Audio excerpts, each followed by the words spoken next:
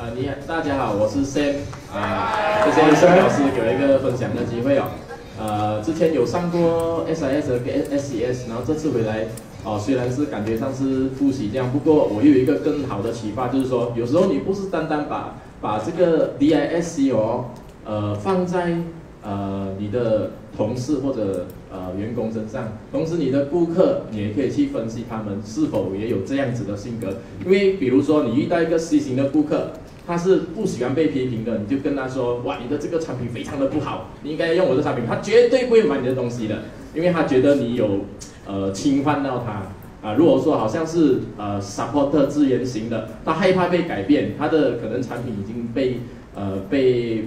呃普遍化了，已经开始不赚钱了，可能你要说服他说呃。可以试试看我们的新的品牌，但必须要给他多一点的时间去考虑、去衡量他的他的痛点在哪里，那么他就会做出一个很理智的决定。这是我的分享，谢谢。